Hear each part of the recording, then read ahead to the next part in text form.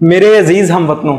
आज वतन अज़ीज़ को बने हुए तिहत्तर बरस मुकम्मल होने को आए हैं। इस मौके पर इस पैगाम के ज़रिए मैं आप सबसे दरख्वास्त करता हूँ कि झंडियों से अपने घरों और मोहल्लों को रास्ता करने की बजाय आप सब लोग एक एक दरख्त लगा दें और कोशिश करें दरख्त ऐसी जगह पर लगाया जाए जहाँ वाकई दरख्त लगाने की ज़रूरत हो। शुक्रिया पाकिस्तान के साथ, यहाँ हम दो अहम शख्सियात का भी शुक्रिया अदा करना चाहते हैं। जिन्होंने सरसब्ज पाकिस्तान की इस मुहिम की बुनियाद रखी और अपनी अपनी हैसियत के मुताबिक आज भी इसे जारी रखे हुए हैं। हम पीएम इमरान खान और सैयद इकरारुल हसन के तहे दिल से शुक्रगुजार हैं, जिन्होंने सरसब्ज पाकिस्तान का ख्वाब देखा, इसे हकीकत बनाने में आज भी मसरूफ नज़र आते हैं। सैयद इकरारुल हसन ने 2018 में इस मुहिम का आगाज़ किया और 14 दिनों में 14 लाख दरख्त लगाने का वादा भी किया।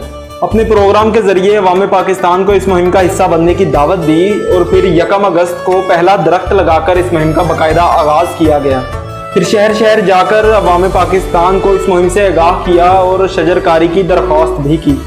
इनकी इस मुहिम को सरसब्ज पाकिस्तान, सरेआम पाकिस्तान का नाम दिया गया। सितंबर 2018 में ही पीएम इमरान खान ने सरसब्ज पाकिस्तान की इस मुहिम का आगाज़ किया और वतन अज़ीज़ से यह वादा किया कि 2023 तक 10 बिलियन दरख्त लगाएँगे।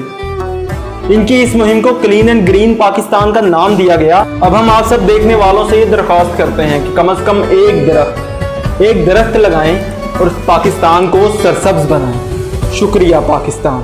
पाकिस्तान जिंदाबाद।